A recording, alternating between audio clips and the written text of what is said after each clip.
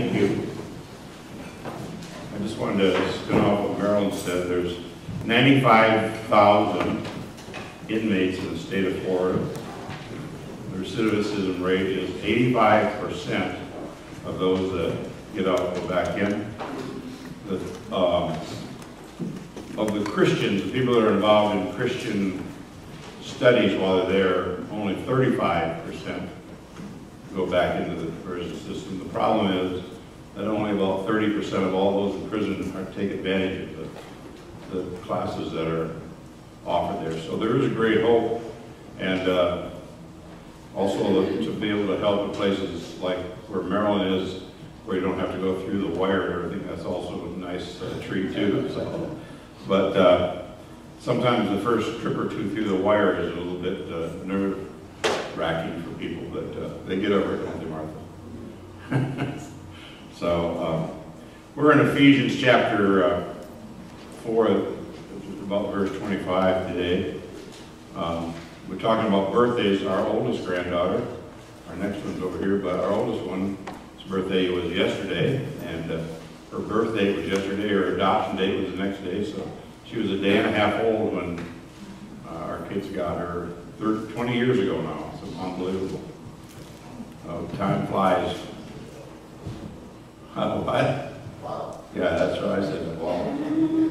So anyway, it is amazing how fast the time goes. And uh, one of the good things we're involved in it, that's important. So anyway, we're in Ephesians chapter uh, 4, and we've been talking about, first of all, the first three chapters are about the doctrines. Paul really works on the doctrines. And then the next, uh, from uh, 4 through 6, he's going to talk about how to live out our life on a daily basis into the place that we are. We talked last week about, uh, we talked last couple weeks about gifts, and then walking uh, in holiness. And then this week we're going to continue on. Last week we talked about the fact that we have become new people, a new person. And the picture is that he has is we take our coat off, our outer, our old flesh, we take it off and we set it aside and we put on a new flesh, we put on Christ. And so he says in verse uh, 24, and put on a new self, which in the likeness of God has been created in righteousness and holiness uh, of the truth. And so we put on a new self, and that's of righteousness and holiness. So we begin to live our life out in a way that glorifies and reflects God, Christ, into the into the world. And there are some presuppositions there. When we first of all, we need to know Christ to put on the new coat. The second thing is we need to take a look at to see what how we should live our life if we're going to reflect Christ into the into the world. He says in verse 25, therefore, laying aside, here's some of the things that we have to do. Lay aside falsehood, speak truth, each one of you, with his neighbor, for we are members of one another. Be angry and yet not sin, and yet do not sin. Do not let the sun go down on your anger. Uh, and do not give the devil an opportunity. Verse 28, let him who steals steal no longer, but rather let him labor, performing with his own hands what is good, in order that he may be, have something to share with him who has needs. So we see right off the bat, we lay aside, we lay aside things like falsehood. We, we lay and we begin to, we begin to speak the truth to each other. We begin to be truthful with one another. And uh, we are, each one with his neighbor, for we are members of one another. We're all become part of the family. Even if we're not part of, they're all family of God, we still are to be people that reach out and to reflect the, the goodness of God into their lives. And he says, it goes on to say, for we are members of one another. We are members of one another. We're all part of the of our the population. Wherever it is that you live, if you're part of that group, is you can either kind of just reject it or you can become involved in it and, and bring Christ into the mix. Uh, be angry and yet do not sin. Uh, and do not let sun go down on your anger. So we can be angry and not sin. Um, I've been working on that one. Uh, but and then again, don't let don't let anger uh, the sun go down on your anger. Don't don't hold it uh, into your own being because all it does is disrupt you. It doesn't. And one of the things about anger and bitterness, the people that you're angry and that you're bitter against oftentimes have no idea. It's all, it only just the whole root just uh, develops in you. and, and doesn't really uh, affect anybody but you.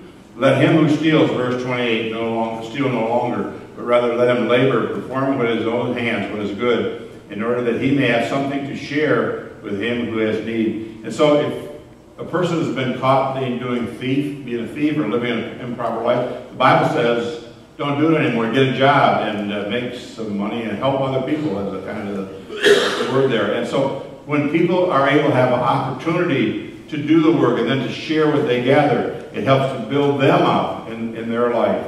And then verse 29, let no unwholesome or rotten word proceed from your mouth, but only uh, such a word as is good for edification according to the need of the moment, that it may give grace to those who hear. And so we should, the things that come out of our mouth should edify those that are around us, should build us up. Derek was saying earlier about how people talk about their children and how you're never going to amount to anything. And that sort of just convinces them early on. And so we need to be people that encourage people that we encounter. We have the, the gift of encouraging others that they're doing good, that they can continue. on. that doesn't mean we can say, oh, well, you're, you're doing really sloppy. We can help them grow into that, but we should encourage them to become, um, to become uh, more efficient in the work that they do and not to build them down. Uh, and so that they may, uh, that for the edification according to the need of the moment, that I may give grace to those who hear. And then verse 30, and do not grieve the Holy Spirit of God, by whom you were sealed for the day of redemption. We, we are not to live our life in a way that is brings grief to the Holy Spirit, that we do things that really are not uh, in the line of what He would teach us to do. That we live our life that is a reflection of Christ into the world, empowered by the Holy Spirit, and that we don't bring grief, that we don't bring grief, we don't grieve Him. And then in verse 31, here's these next few things. Let all bitterness, let all bitterness, and again we talk about bitterness. Bitterness are things that we hang on to, we hang on to, we never let them go. We say, I forgive you, but we really don't. We just hang on to it. We just, we cling a hold of that until the very end. And then he says, let all bitterness and wrath, again, things that we want to, you know, really pound people with, and anger and clamor and slander be put away from you along with all malice. These are the things that God has for us to put away as we put on the new self. We put away all bitterness. Uh, so for some people, for some people, that's really a hard thing because something's happened a long time ago, and we, we never are able to let it go. We just cling on to it. But we need to give that to God. We need to give that to the Holy Spirit and allow Him to take it away, to make a choice that we're going to move that on. And then wrath, things that we want to get even with and anger, anger that we build up uh, because of something that's happened, clamor, and then and slander. But be, but we put away from you, be put away from you, along with all malice. All those things that the truth of the matter is they affect our lives personally. Those sort of things, they just they grip us and they won't let us go and impact our daily life when we live that way. So he says for us to put a Put those away. Get rid of those. Put them in the old self over here and be done with it. And as we put on the new self, and then in verse 32, here's what he says that we're to do. You and I are to do. We are to be kind to one another. We're to be kind to one another. Think, think about it this, if we really began to live this way in our life. Be kind to one another, tender-hearted, tender-hearted, if we're tender-hearted, and forgiving each other. We forgive each other. Some of us have things that we hold grudges against. We have bitterness, but also we just we won't we won't uh, forgive the other. We just we cling on to it. Sometimes that's our greatest. It's almost like an anchor. It's almost like an anchor. We just hang on to it. The only problem is it is like an anchor. It takes us down under the water. Not good. And so we aren't really able to deal in a way that's effective to minister to other people. So he says for us to be kind to one another, be tenderhearted, forgiving each other, forgiving each other, just as God in Christ also has forgiven you. So we have taken off the old self and we put on the new self. That new self is that we that we are kind to one another. We're kind to one another. Is that we're tenderhearted and that we forgive one another. And we live the way our life out, realizing that Christ himself. God has forgiven us of the way we lived through Jesus Christ. I, um, I often think about that because sometimes it's easy to say, well, that person's really a mess. I know none of you'd ever say that, but sometimes I think that. And uh, then I think, wow, I was really a mess too until the Lord intersected my life. How about you? Maybe you were a mess before the Lord intersected your life as well. But this is why to live out the faith. To live out the faith is to live this way. To live tenderhearted. It's to live that we uh, forgive one another. It's to live that we care for one another. Because that's what Christ has done for you and for me. We think about Palm Sunday. We think about the fact that Christ is coming. He's coming into to Jerusalem. And the people are cheering him and cheering him. And yet, just around the corner, he's going to be crucified. But he was willing to do that whole process for you and for me. Isn't that amazing that he would do that for you? A sinner such as I, that he'd be willing to go through the agony of the cross and be laid in the tomb because of his great love for you and for me. What does that do to What does that mean to us as we read this scripture? What do we do? We need to be willing to set aside all the old self and to put on the new self and to impact the, our community and our world for Jesus Christ because of what he's done for us. And when we do that, we see lives change. We see people inspired. We see people helping other people. We see people caring for other people. And we begin to understand that ultimately that's what our, our, our mission here on earth is, to share Jesus and to encourage others to come together and to love one another. What a great challenge that is for us uh, as we think of the Easter season we think of this time of the year, and oftentimes we, we had well, we had a nice Easter egg hunt. That was really nice. We we see lots of stuff going on, lots of family gatherings. But in the, often in the undercurrent of all that stuff, there's ang there's anger, there's there's bitterness, there's people that are unresolved issues. Help us help us to be people that have put on the new self in Christ Jesus, and that we in this season we become men and women and boys and girls that reach out and share the love of Jesus with others, that they see the living flesh of Christ in this in our community this year. And as we do that, as we do that, we then are empowered to even do more because we realize what, that great uh, satisfaction of helping others is in Christ Jesus. I challenge you this week that you really reach out to people, encourage people, to edify people, to encourage them as they go along and to Father, to, that each of us would kind of set aside our bitterness and anger and wrath, all those things that hold us back, and that we focus on the goodness of Jesus.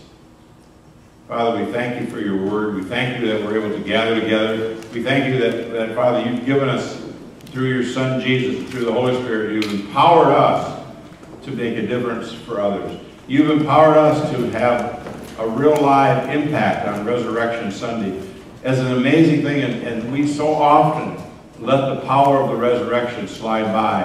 What a great opportunity for you, for each one of us, to be carriers of the resurrection, to impact other people as we encounter them, even yet today.